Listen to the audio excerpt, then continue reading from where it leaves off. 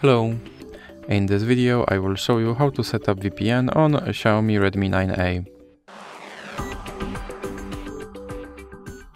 So you have to start by opening your Google Play Store, then click on search bar and type in uh, Turbo VPN and click search. Now select this application and click install.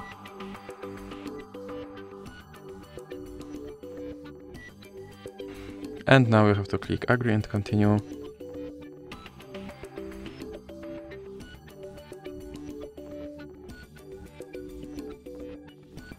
And here you can uh, close this ad.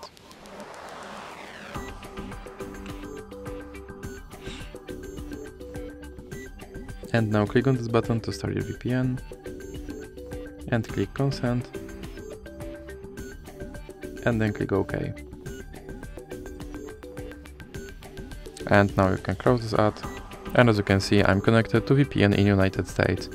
So that's it for this video, if you liked it please remember to leave like and subscribe.